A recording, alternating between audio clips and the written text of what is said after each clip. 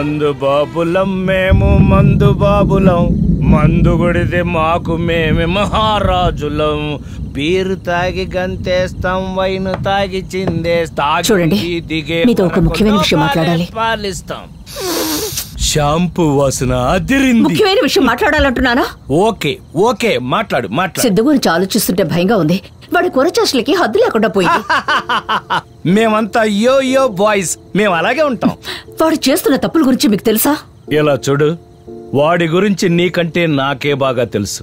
ఈ వయసులో కుర్రాళ్ళు ఏ ఏ తప్పులు చేస్తారో వాటిలో ఒక్కటి కూడా మిస్ అవ్వకుండా కరెక్ట్గా ఆర్డర్లో చేస్తున్నాడు. సో ఇప్పుడు చేయకపోతే ఇంకెప్పుడు చేస్తాడు?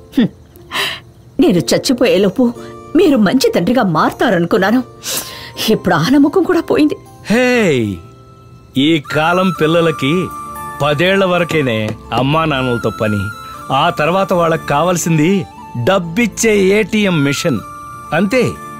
కానీ ఎంత వయసు వచ్చినా సరే వాళ్ళకి తోడుండాల్సింది ఓ మంచి ఫ్రెండ్. అలాంటి ఫ్రెండ్గా ఉండాలని నా ఉద్దేశం. ఎందుకు? వాడితో కలిసి తాగడానికా? ఏ? అందులో తప్పే ఉంది? మిమ్మల్ని? నాకు వాడి కంటే కూడా మిమ్మల్ని తలుచుకుంటేనే కడుపు రగిలిపోతుంది. మీకే మీరు తండ్రే కదా. అందుకే ఇలా బాధ్యత లేకుండా మాట్లాడుతున్నారు. మీకు అసలు కొంచెం కూడా ప్రేమ లేదు. ఏంటి నువ్వు? ఎప్పుడు చూసినా ప్రేమ లేదు ప్రేమ లేదని దెప్పి పడుస్తున్నావు? అవునయ్యా నీకు ప్రేమ లేదు బాధ్యత లేదు.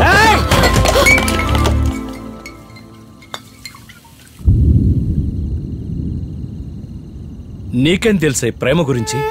నువ్వు కేవలం జన్మనిచ్చి రూపాన్నిచ్చావు. నేను వాడికి నా ప్రాణాన్ని ఇచ్చాను.